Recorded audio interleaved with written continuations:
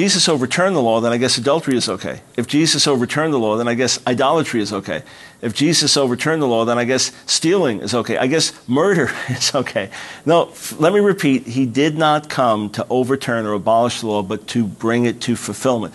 As for animal sacrifices, the fact is those were pointing towards something, and he brought it to fulfillment by dying on the cross and taking the place of the animal sacrifices. But I ask you a question Did he take the place of the morality, the ethic of the Old Testament? Do we now get rid of justice? Do we now get rid of righteousness? Do we now get rid of care for the poor and the hurting and the needy? Those things are all part of the law. Jesus took the moral and ethical requirements of the law and the sexual purity of the law and brought it to a higher standard. So the law said, don't commit adultery. Jesus said, if you have lustful thoughts in your heart towards another woman, then you have committed adultery in your heart. He took things to a higher standard. And he died because our sin was so destructive and grievous. Our sin is ultimately going to hurt us in homosexual practice practice, according to the Bible, according to Moses, Jesus, Paul, according to the whole Bible, is destructive, harmful, contrary to God's best. Jesus died even to save people from that. What does it mean to be under grace? To be under grace means that we have the power to do what God requires. What it says in Romans, the sixth chapter, is you're not under the law, but under grace. Therefore, you now have the power to overcome sin. You say, well, what if I fall short? I fall short, you fall short. It's true. Every one of us falls short, but if we willfully practice sin and seek to justify it, we cut ourselves off from God's grace. It says in Hebrews 12, be careful that you don't fall into sexual immorality and so forfeit God's grace. We can refuse it and scorn it. If I say, yeah, I do not sin, man, I'm saved, I don't sin, I, there's nothing wrong in my life, I'm a hypocrite, I'm a liar, I'm self deceived. If I say, I recognize I fall short, but by God's grace, I turn away from that and I move forward, I can receive mercy and forgiveness. If we confess our sins, which means we acknowledge them, we lay them down, then God will cleanse us and wash us. If we say, hey, Jesus died for me, I can keep on sinning, now we've deceived ourselves. First, you are created in the image of God, the same as I was. Heterosexual and homosexual are created in the image of God. We are human beings. We are equally loved by God. God does not love heterosexuals more than homosexuals. However, we are part of a fallen human race, a flawed human race. Every one of us falls short. According to the Bible, by our very nature, we were objects of God's judgment. However, there is no biblical evidence that someone is born gay. There's no scientific evidence of any conclusive nature, no sociological evidence of any conclusive nature that people are born gay.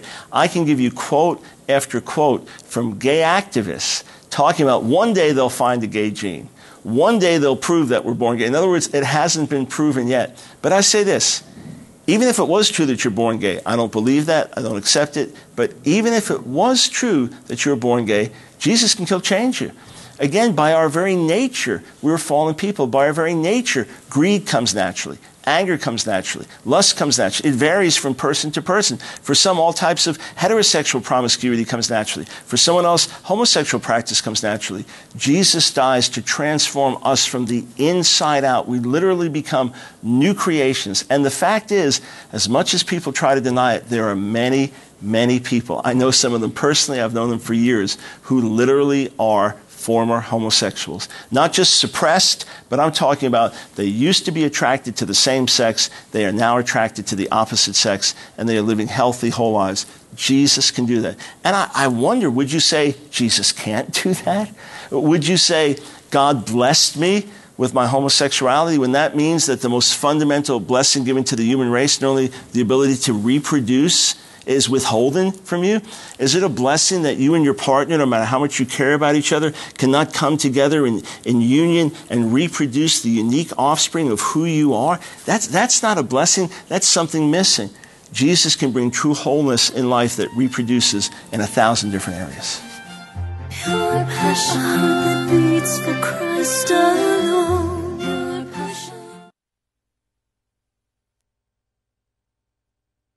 Well, God's your judge, not me. That's the first thing. I would warn you, though, and say that you cannot base things on your experience alone. Let me give you an example. There was one couple that was in the midst of divorce. Each one was divorcing their spouse, and they were about to be married to each other. And when someone questioned them on that, they said, no, before we have sex, now remember, they're married people. Before we have sex with each other, in other words, committing adultery, we pray and we really feel the Lord's presence. It says in the word, don't deceive yourself. Praying a little prayer was never what Jesus required. Submitting to Him as Lord and putting our faith in Him to save us, that's what He required. I remind you, He didn't die to save us in our sins, but from our sins. We have to confess Him as Lord, meaning He's the boss, He's the master, and we now submit to His ways. And according to the universal testimony of Scripture, homosexual practice is forbidden. No, a homosexual man or woman is not an abominable person in God's sight any more than any other human being. We are fallen people loved by God that Jesus died for. But there are certain practices that are absolutely forbidden. And if you say, look, I love Jesus, I'm struggling with same sex desires, I'm not a practicing homosexual, I know this is wrong, and I'm struggling, hey, we're praying for you, believing with you, and I don't doubt your profession of faith. I don't doubt your commitment to the Lord because you're struggling. People struggle in many areas. If you say, I am a practicing homosexual, a self identified gay or lesbian, practicing this lifestyle, following Jesus at the same time, I say, no, according to the scriptures, the two are mutually incompatible.